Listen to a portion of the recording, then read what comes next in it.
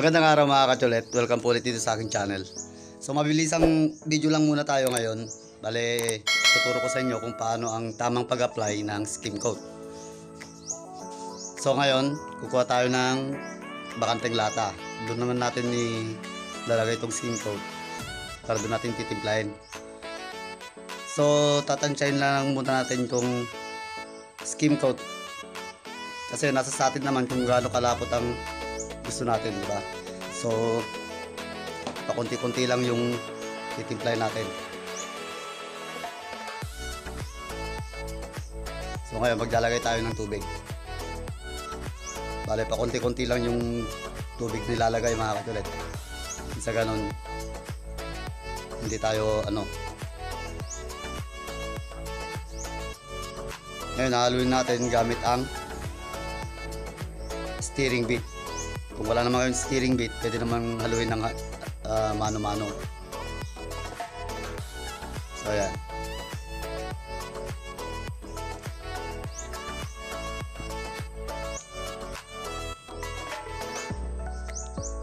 Kailangan kasi ng steering bit ang paghalo mga katal para mahalo ng tama yung walang namumong skim coat.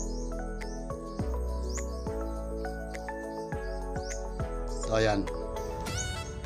Halo na. So next step na tayo mga kachulet. Ito yung pader na ah, pag-apply natin ng skim coat. Kailangan muna natin iskisin o kuskusin yung pader para matanggal yung mga buhangin na nakadikit pa sa dingding natin mga kachulet. Bale itong dingding na to, rock finish to mga kachulet ha. Kasi ang pag-apply ng skim coat, kailangan sa rough finish, hindi sa, ma, sa napuro. Kasi ang purpose ng skim coat, bale siya ng pinaka-puro ng parang sa semento. Siya na rin yung masilya. Bale, tipid na kayo sa purong semento, tipid pa kayo sa pintura, sa primer, tipid pa kayo sa pintura na panghalo sa patching compound. So ngayon, ito ang gagamitin ko. Uh, tulad itong rodelang bakal. Pero kung wala kayo nito, pwede kayong gumamit ng paleta. Ngayon, umpisa na natin mga katulit.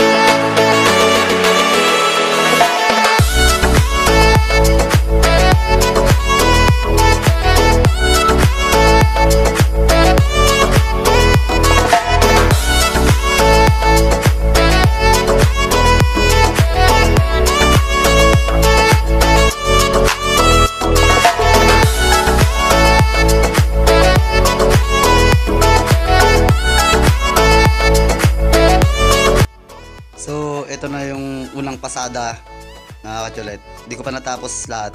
Pero ipapakita ko sa inyo yung tsura ng unang pasada. So, ayan na siya mga kachulet.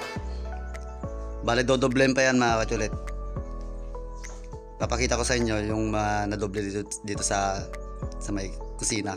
Tsaka dito sa sala. Ayan. Balagan niya na siya. Parang napuro, na parang namasilyan na. Pero makakatipid ka talaga pag sa skim coat mga katulad. Pinakapuro mo na, pinakamasilya mo pa. So, ayan na mga katulad. Hanggang dito na lang mga katulad. Maraming maraming salamat po sa panonood.